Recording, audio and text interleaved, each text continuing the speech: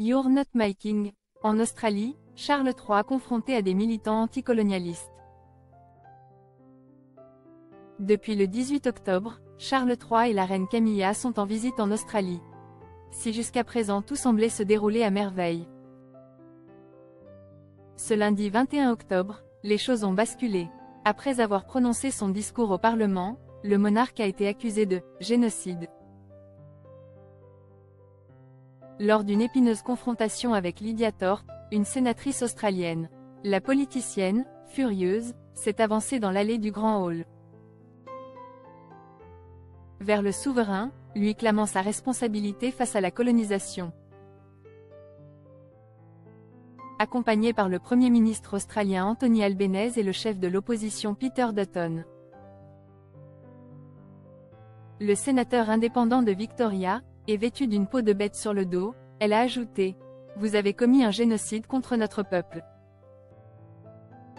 Rendez-nous notre terre, ce n'est pas ta terre.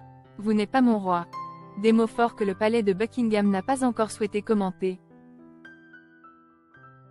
Préférant se concentrer sur l'accueil chaleureux qu'ont reçu le roi et la reine tout au long de la journée.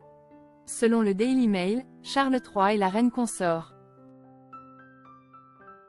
ont été vus rire des huées de la politicienne, et ont dit qu'ils n'étaient pas perturbés par la tirade qui,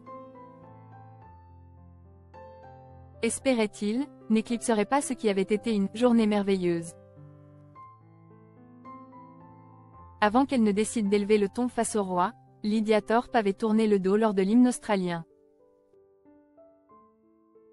Plus tôt dans la journée, la sénatrice était sur le point d'être arrêtée alors qu'elle protestait contre la visite du monarque.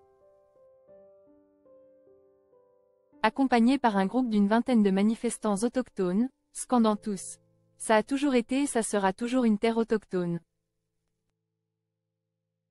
Si elle a attendu la fin du discours du roi, dans lequel il salue la sagesse intemporelle des peuples autochtones. L'Australienne de 51 ans avait prévenu qu'une telle « explosion » se produirait. Je vais lui dire qu'il n'est pas mon roi. Il n'est pas notre roi.